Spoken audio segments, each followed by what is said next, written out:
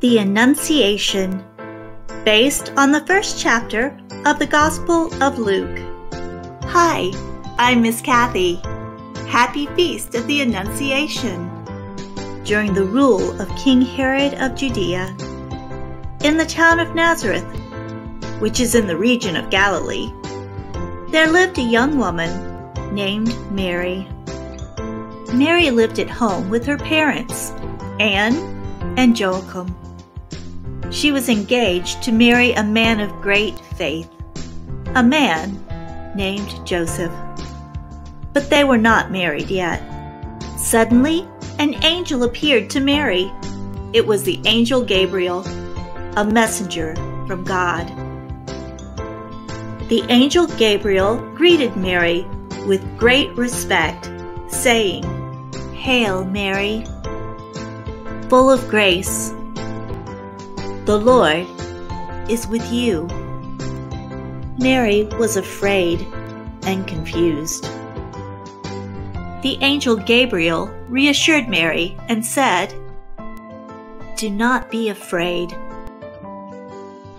You have found favor with God.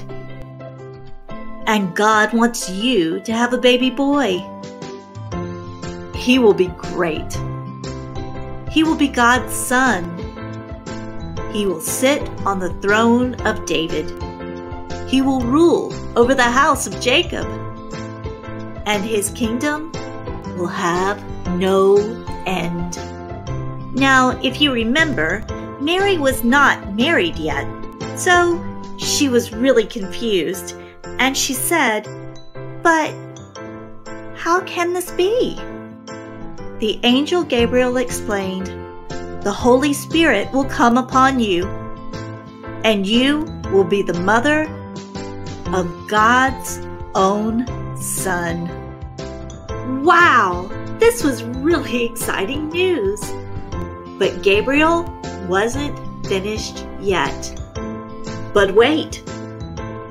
There's more! Mary, I have some more exciting news for you. For behold, there is also news about your cousin. Mary's cousin Elizabeth was much older than Mary, and Elizabeth was married to Zachariah. Both Elizabeth and Zachariah were very good people. They loved God very much, and they loved one another very much. But they had one great sadness. They were now both quite old, and they had no children of their own. Elizabeth was finally pregnant. For, as the angel Gabriel said, nothing is impossible for God. Then the angel Gabriel said, Mary, will you do what God asks? And Mary answered, Behold, I am God's servant. Let it happen as you have said. Mary said yes to God, yes to being the mother of Jesus. And so it was that many prophecies were fulfilled through Mary's faithfulness and righteousness. And God came to earth as a baby boy. Therefore, the Lord Himself will give you a sign. The young woman, pregnant, and about to bear a son, and you shall call him Emmanuel. Isaiah 7:14 Emmanuel, God with us.